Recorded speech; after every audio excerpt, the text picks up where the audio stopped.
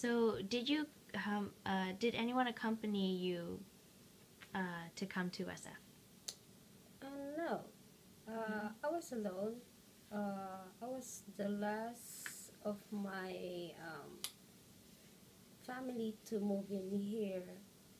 So, um, basically, the only one. Nobody accompanied me. Okay. Um, what generation are you of the family that's coming to America? Uh, since my dad is a U.S. citizen, so I'm basically the second generation. Okay. Um, and why did you move to San Francisco? Well, this is where my family lives.